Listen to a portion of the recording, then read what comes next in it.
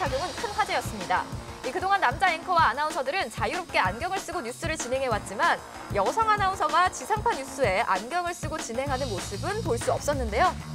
2013년 신임 아나운서 공채에서 천대 1의 경쟁률을 뚫고 발탁된 이면주 아나운서 역시 TV 6년간 시작합니다. 다양한 프로그램을 진행하면서 안경 대신 렌즈를 착용하고 한숨과 진행해 주름만 왔습니다. 깊어지는데요.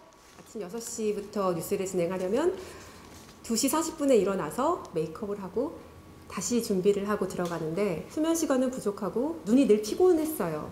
매일 눈물약 그 작은 통을 한 통씩 썼거든요. 안경을 껴보는 게 어떨까 생각하게 됐습니다.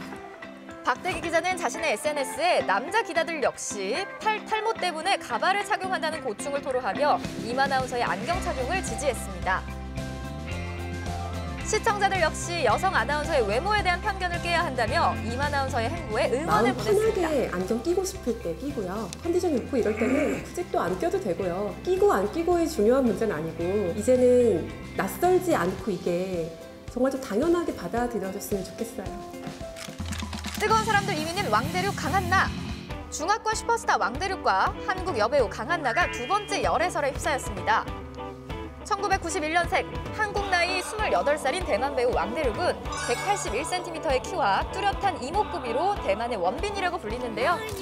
2015년에 출연한 대만 영화 나의 소녀시대가 대만 역대 최고 흥행 기록을 세우며 중화권에서만 630억 원이 넘는 수익을 올렸습니다.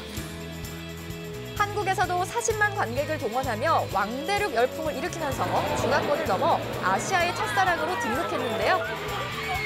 오케이 자 오케이 나의 소녀시대 있습니다. 아시아의 첫사랑과 열애설이 난 강한나 1989년생으로 왕대륙보다 두 살 연상인데요. 이 발레리나 출신의 여배우인 강한나는 현대극과 시대극을 넘나드는 연기력과 트레이드마크인 보조개가 매력적인 배우입니다. 두 사람은 지난해 중국 판타지 웹드라마 귀치 등지목 야괴사에 함께 출연하면서 인연을 맺은 것으로 알려졌는데요. 이번 열애설이 불거진 장소는 대만의 한 수산물 시장이었습니다. 핑크빛 셔츠에 코트를 입은 강한나와 모자를 눌러쓴 왕대륙은 함께 장을 보면서 다정하게 쇼핑을 즐기고 있는 모습이었는데요. 취재진이 쫓는다는 사실을 감지한 두 사람